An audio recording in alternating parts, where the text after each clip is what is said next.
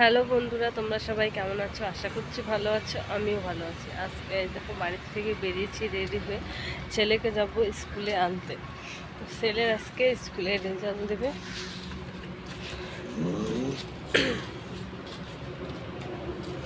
তো বলছিলাম যে আজকে ছেলে রেজাল্ট দেবে, আমি তো জানি না কেমন রেজাল্ট করবে, তো তোমাদের অবশ্যই দেখাবো যে কেমন রেজাল্ট করল।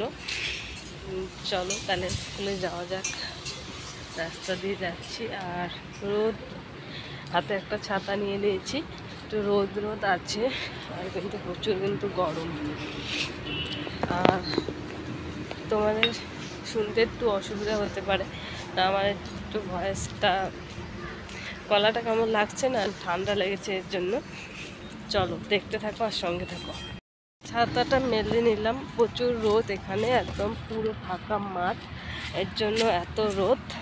তো আমি মাঠ দিয়ে যাচ্ছি। রাস্তা দিয়ে যাচ্ছি না, মাঠ দিয়ে একটু তাড়াতাড়ি হবে, এর জন্য মাঠ দিয়ে যাচ্ছি।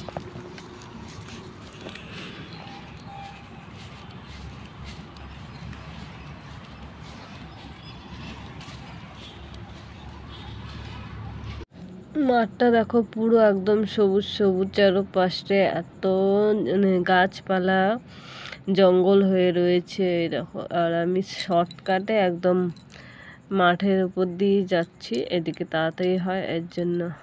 আর এসে দেখছি যে একজন শুধু এসেছি, কেউই আসেনি।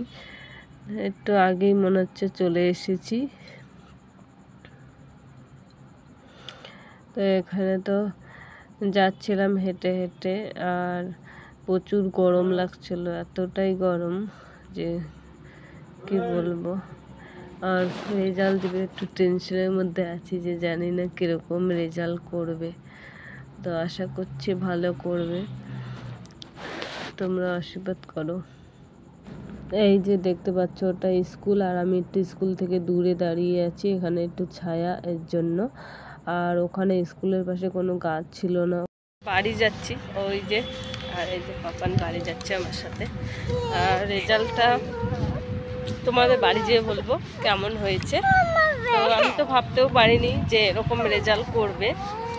তো তোমাদেরও দেখাবো। চলো। আর বাবার এদিকে দোকানে প্যান প্যান করছে। দোকানে খাবার খাবে, দোকানে নিয়ে যেতে হবে এখন। চলো, দেখতে থাকো আর সঙ্গে থাকো। প্রচণ্ড কিন্তু রোদ উঠেছে। ছাতাটা নিতে হবে এবার।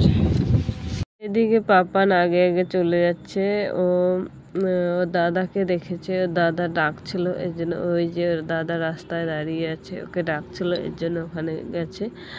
আর তখন দাদার সাথে কথা বলা হয়ে গেল, এবার যাচ্ছি আমরা বাড়িতে, না, দোকানে যাবে। অনেকক্ষণ ধরে বলে যাচ্ছে দোকানে খাবার কিনবে। এর জন্য এই যে দোকানে নিয়ে চলে আসলাম। এখন খুঁজে পাচ্ছি না যে কোনটা রেখে ও কোনটা নেবে। তারপরে অবশেষে একটা কিনেছিস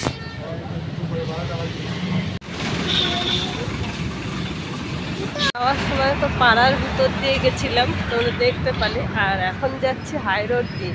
হাই রোড দিয়ে কিন্তু আমাদের বাড়ি একদমই কাছে। তোমরা তো এর আগে ব্লগে হয়তো দেখেছ যে একদম রাস্তার পাশে আমাদের বাড়ি।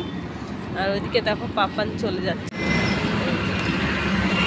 হাই রোড এই যে হাই রোড দেখতে পাচ্ছ? আর এই যে আমাদের বাড়ি।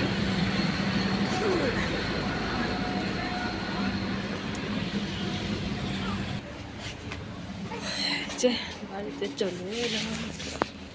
ফ্যানটা চালিয়ে দিয়েছি।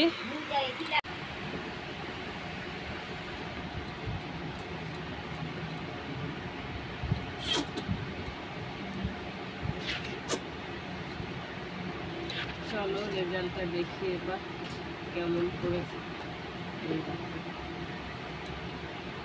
দেখতে পাচ্ছ? এটা হলো ফার্স্টে যে পরীক্ষা হয়েছে ফার্স্ট ইউনিট টেস্ট সেইটা। আর এটা হলো সেকেন্ড ইউনিট টেস্ট তো ফার্স্টেও সেকেন্ড হয়েছে, এবারও সেকেন্ড হয়েছে। তো আমি ভাবতে পারিনি যে এতটা ভালো রেজাল্ট করবি।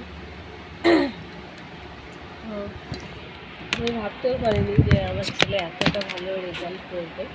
তো আশা করছি যেন আরও উপরে উঠতে পারে, আরও ভালো করে পড়াশোনা করতে পারে। তো চলো তোমাদের ভালো করে একটু দেখাই। এই যে, এটা হলো প্রথমের। মানে এটা তো ফার্স্ট স্টেজ যখন হয়েছে তখন আর এটা সেকেন্ড টেস্টের পরীক্ষা। এখানেও সেকেন্ড হয়েছে, এখানেও সেকেন্ড হয়েছে। দেখতে পাচ্ছ?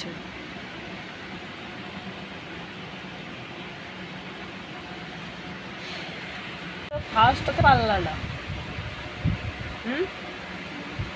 ফার্স্ট হতে তো পারলা না। তুমি সেকেন্ড হয়ে গেলা।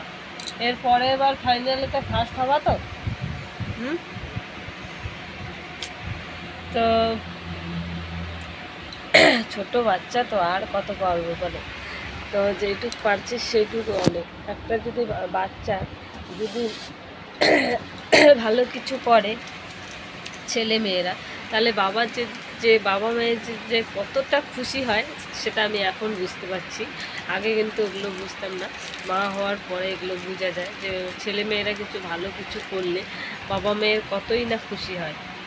তো আমরা আগে বুঝি নেই, বাবা মায়ের কথাও শুনি নেই, আর ভালো করে পড়াশোনাটাও করি নেই। যদি তখন ভালো করে পড়াশোনা করতাম, আজকে হয়তো এরকম দিন জীবনে আসতো না। তো আমার এই ব্লগটা তোমাদের কেমন লাগল? অবশ্যই কমেন্টে জানাবে। আর ভালো লাগলে অবশ্যই লাইক কমেন্ট শেয়ার এবং চ্যানেলটাকে সবাই সাবস্ক্রাইব করে দিও। যারা এখনও সাবস্ক্রাইব করনি, তাড়াতাড়ি যে সাবস্ক্রাইব করে দাও, নতুন নতুন ভিডিও পাওয়ার জন্য। তো এখনকার মতো টাটা। আবারও কোনো নতুন ভিডিও নিয়ে আসব। টাটা।